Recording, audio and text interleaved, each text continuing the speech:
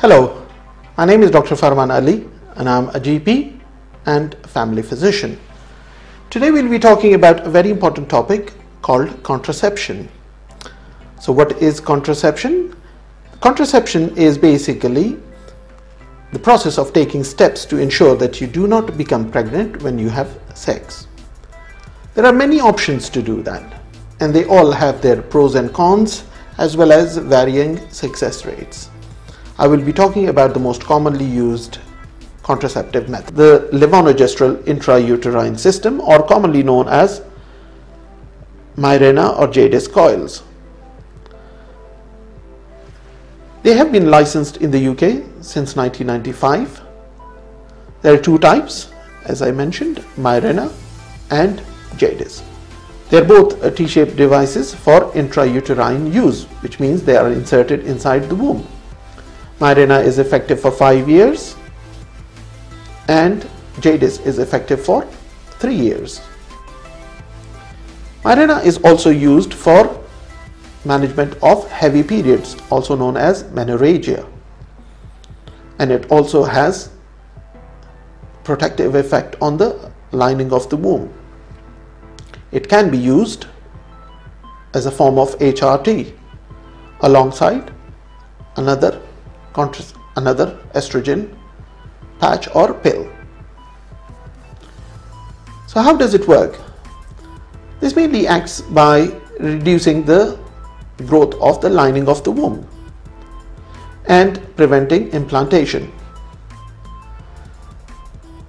The lining of the womb becomes thinner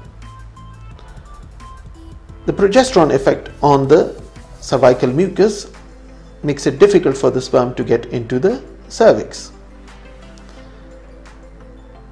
Ovulation occurs normally as usual. So what are the benefits? It's very effective, it's convenient and it is reversible. As mentioned earlier, it can be used for heavy periods known as menorrhagia and dysmenorrhea, which is painful periods. It may reduce the risk of pelvic inflammatory disease as compared with the copper coil. It does not significantly interact with other drugs as the action is predominantly local, the hormone is secreted locally. There has been no effect on the bone density. So what are the problems with these coils? As mentioned earlier, some women find it unpleasant at the process of insertion. Menstrual irregularities can occur in the first six months. There are typical effects of the progesterone, which include acne, breast tenderness, occasionally headaches, and some mood changes, which might limit its use. Ovarian cysts, however, these are of no consequence and resolve spontaneously.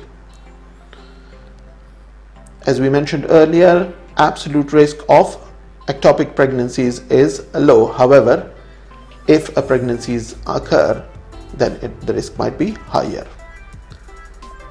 expulsion or movement of the coil is common, possibly similar to the copper coil.